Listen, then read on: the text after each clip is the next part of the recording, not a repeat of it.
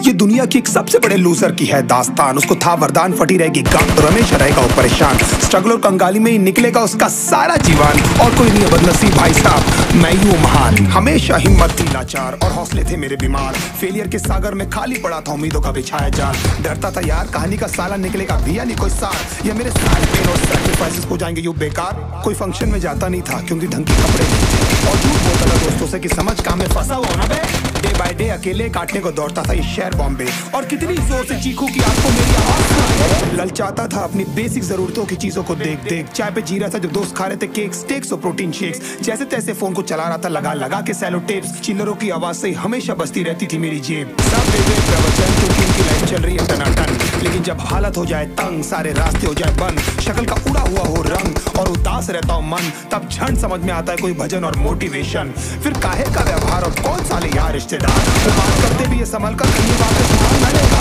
अब तो ठान लिया था, कितना भी समय मुझे कर दे लाचार। इस वॉर में तो एटलीस्ट नहीं डालने वाला हूँ मैं अपने हथियार। बदली थी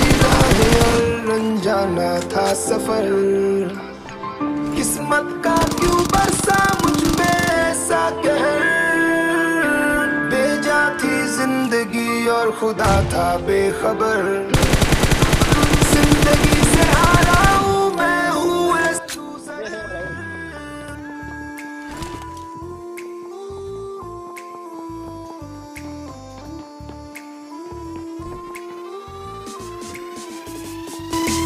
किसी की भी शक्ल पे नहीं लिखा रहता है उनका सच। इसलिए किसी को भी यूँ ही जज। हो रहा है बार बार अपना धीरज, क्योंकि शायद अनाज लेने की